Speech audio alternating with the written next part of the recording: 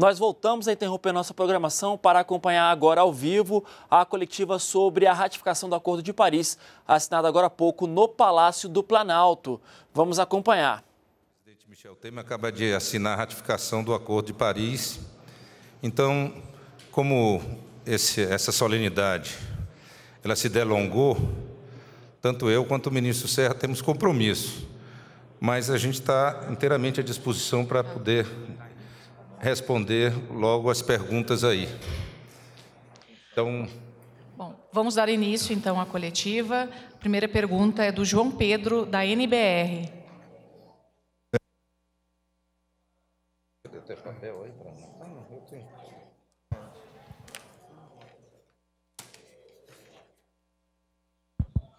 Boa tarde, ministros. Eu tenho duas perguntas, né? Uma para o ministro Sarney Filho, eu queria que ele falasse aí sobre as contribuições nacionais do Brasil, né? Se ele considera é, que são metas ousadas, né? Por exemplo, acabar com o desmatamento ilegal, reduzir as emissões cerca de 40%. É, o que, que o Brasil vai fazer para atingir essas metas? Como é que o país se prepara aí para esses impactos da mudança do clima? E também para o ministro Serra, é, até agora, né, menos de 30 países ratificaram o acordo. Né? No Brasil, ele tramitou rapidamente.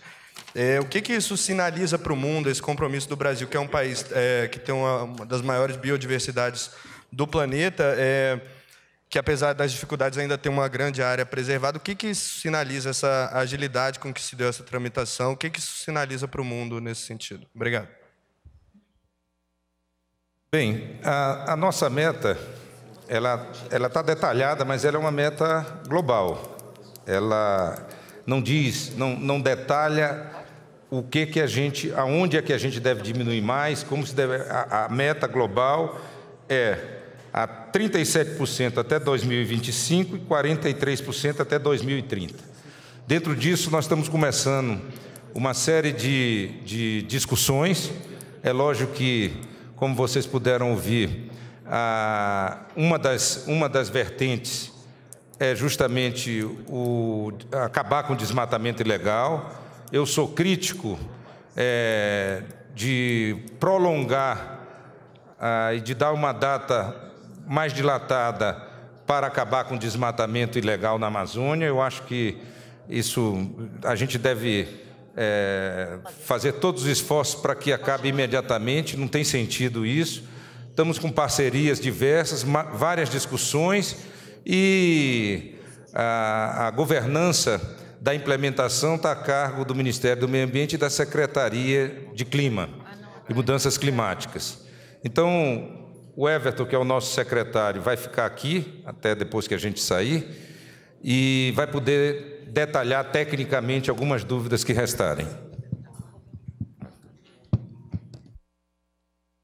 Bem, primeiro, lembremos que para que o Acordo de Paris entre em vigência, digamos assim, nós temos que ter um mínimo de 55 países ratificando o acordo.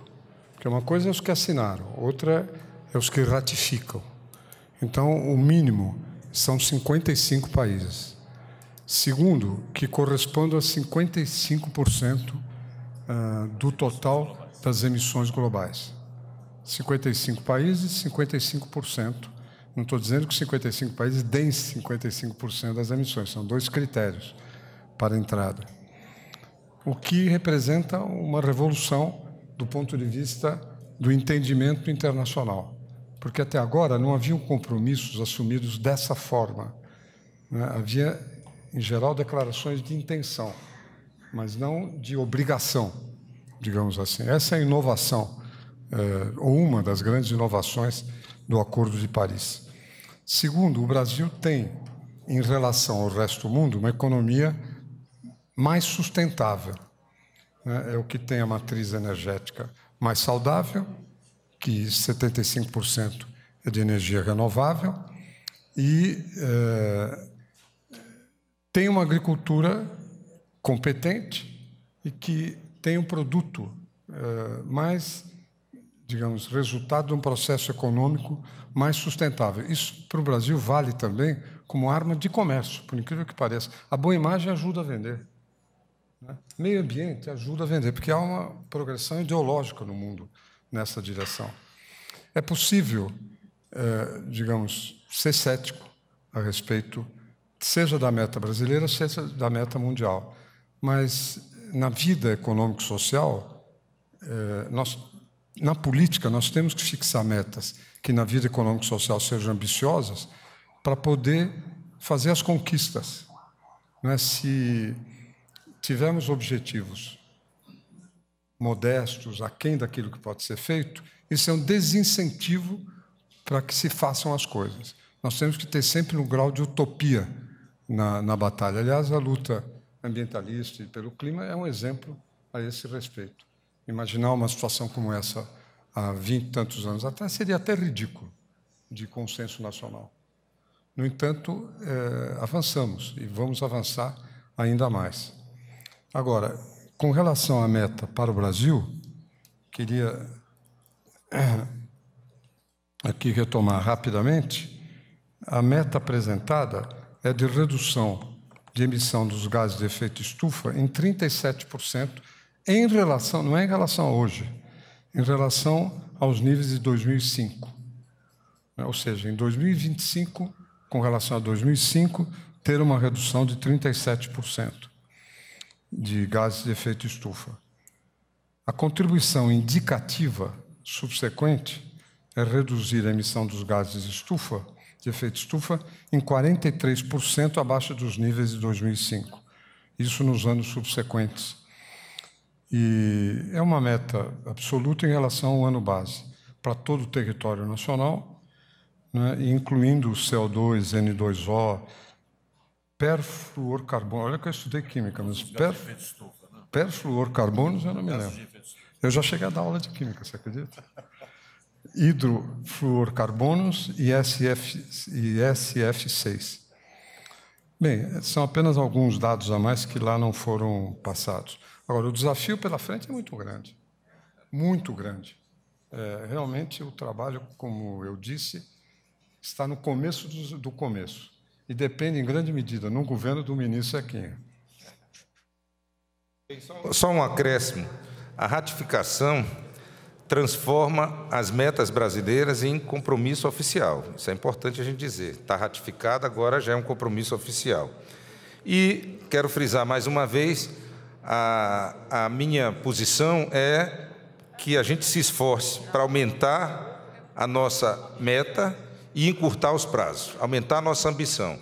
Esse é, tem sido um mantra dentro do Ministério do Meio Ambiente e nós vamos perseguir essa meta, ou seja, vamos ampliar nossa ambição e encurtar os prazos para a gente cumprir essas metas. Esse é o nosso desejo e para isso nós estamos é, fazendo todos os esforços. Disse que o Brasil tem 75% da matriz energética. É, me equivoquei. É 75% de renovável da matriz elétrica e 40, 45 na matriz energética. São números muito expressivos, de toda maneira. Segundo ponto é a compatibilização entre essa batalha e a batalha do clima e interesse econômico. Para o Brasil é direto.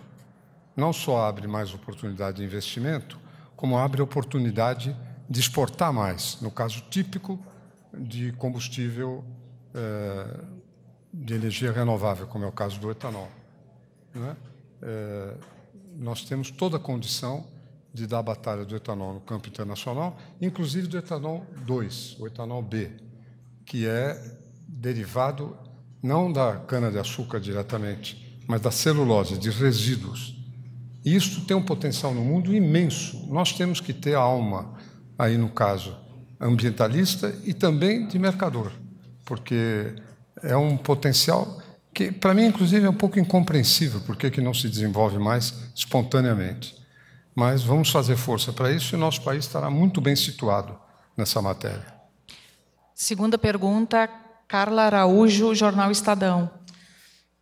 É, são duas perguntas, na verdade. A primeira é para o ministro Sarney, que amanhã o governo vai lançar o plano de concessões e, entre essas medidas, é, segundo a gente mesmo noticiou, os projetos, alguns projetos já terão licenciamento ambiental prévio.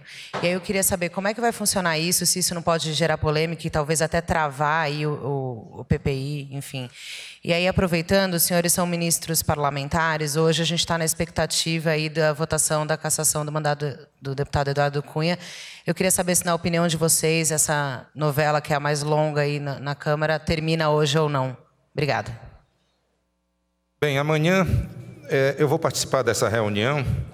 Nós estamos ainda num processo de discussão da lei de licenciamento, que tem sido é, negociada com os diversos segmentos, ouvidos diversos segmentos, inclusive setores do governo, e o básico é que é, essa, esse licenciamento, essa lei nova do licenciamento, ela vai, é, como eu tenho dito sempre, ela vai é, ajudar a clarificar determinadas, é, determinadas distorções que existem hoje.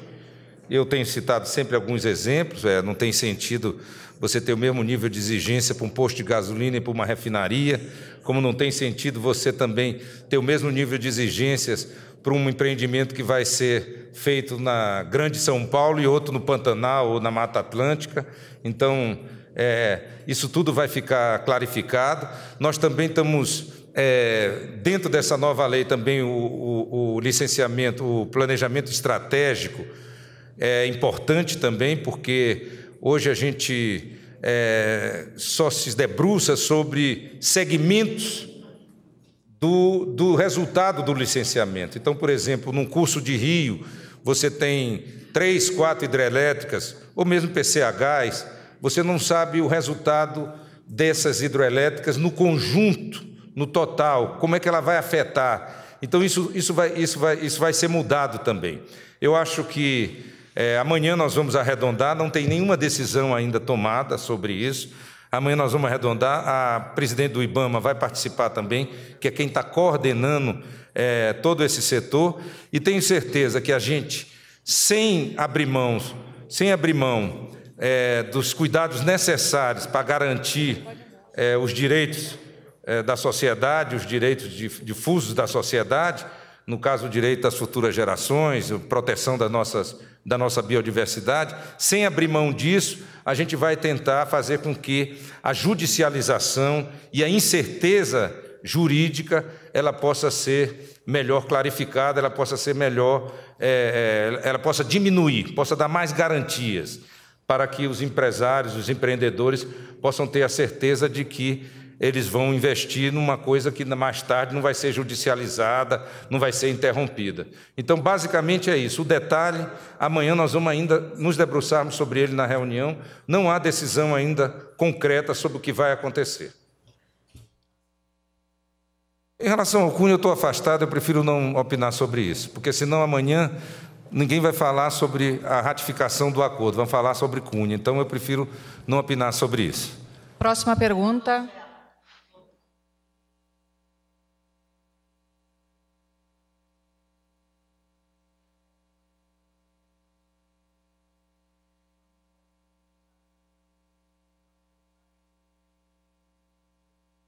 Zequinha, a mesma resposta. Próxima pergunta, Fabiano Andrade, TV Globo. Queria saber, por gentileza, do ministro Sarney Filho, a respeito. A ratificação desse acordo implica necessariamente que esses compromissos vão ser firmados em lei. Mas o que garante que esses compromissos vão ser cumpridos, já que a lei, se tratando de questões ambientais, ela é, é sempre, de alguma maneira, desrespeitada? Veja aí o desmatamento crescendo também do, do ano passado para esse ano, 51%. E para o ministro José Serra, queria saber, passado esse período do impeachment, qual é a situação hoje da nossa relação diplomática com Bolívia, Equador e Venezuela? Se houve chamado dos embaixadores e hoje qual é a situação da relação diplomática do Brasil com esses países? Obrigado. Qual foi? Eu não me lembro da pergunta. Podia repetir a pergunta, por favor? Não tem problema. Porque a ratificação do acordo, ela implica que esses compromissos vão ser firmados em lei. Sim. Mas como garantir que vão ser cumpridos? Tá. Vai ser criado algum mecanismo Tá. mesmo de cumprimento dessas metas, alguma coisa efetiva na prática ser colocada em, eh, em funcionamento? Você levantou uma questão que eu tenho me preocupado muito, porque aquilo que foi dito aí na legislação socioambiental, na legislação ambiental, nós temos visto que muitas das vezes a ilegalidade se torna legal. Assim foi na, na liberação do transgênico por medida provisória, transgênico da Monsanto para a soja, era proibida, e aí começou a haver um contrabando de sementes transgênicas no Rio Grande do Sul. Esse contrabando se espalhou e simplesmente por medida provisória se regularizou, se legalizou o que era ilegal. Mais tarde também, na discussão do Código Florestal, nós vimos que eh, o desmatamento ilegal, na realidade, foi anistiado. Houve um- uma anistia do desmatamento ilegal promovido. Também na lei de resíduos sólidos, os prazos foram dilatados. Na lei do cadastro ambiental rural, também houve isso. Isso é uma questão que a gente precisa encarar com muita ênfase. Eu, por exemplo, eh, participei eh, já da prorrogação do cadastro ambiental rural por mais um ano eh, para as grandes propriedades, porque nós tínhamos problema de validação. Mas eu alertei de que esse, eh, essa espécie de cultura em relação às questões, às leis, ao cumprimento da legislação socioambiental, isso tinha que mudar. Então, enquanto gestor eu for, e sob o comando firme aí do presidente Michel Temer, nós não vamos permitir que isso ocorra. Nós vamos fazer tudo para cumprir a lei, nós vamos fazer tudo para que esses nossos compromissos eles sejam alcançados e tenho certeza de que eh, há, há hoje um clima bastante favorável para que a gente possa ampliar esses compromissos e encurtar esses prazos. Último jornalista a perguntar, Eduardo, Jornal o Globo. Ah, falta uma resposta.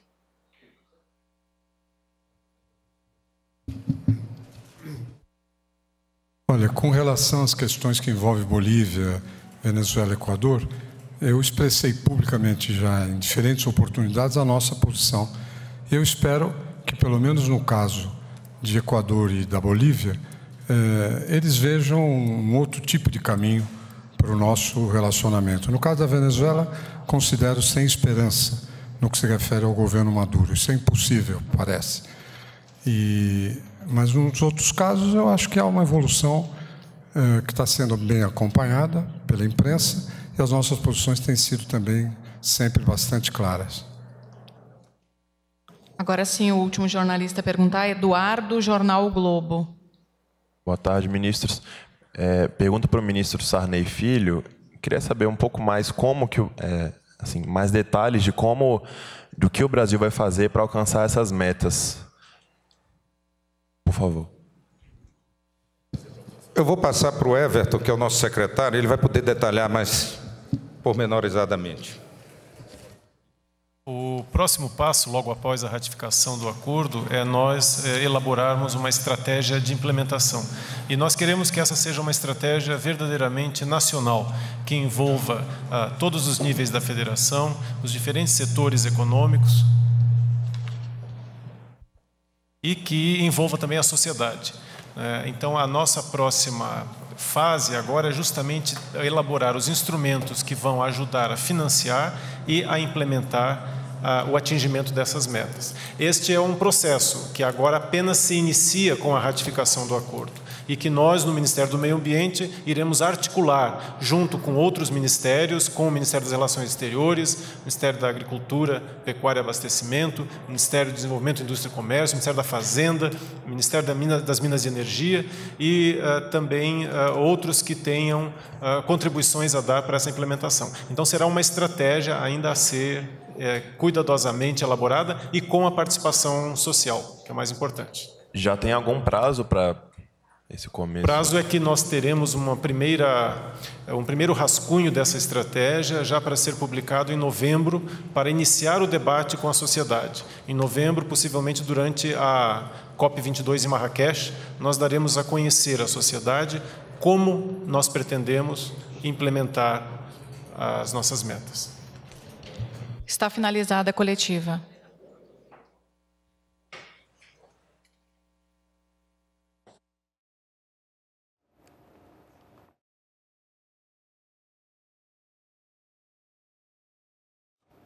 Nós acompanhamos a entrevista coletiva dos ministros do Meio Ambiente e de Relações Exteriores sobre a ratificação do Acordo de Paris.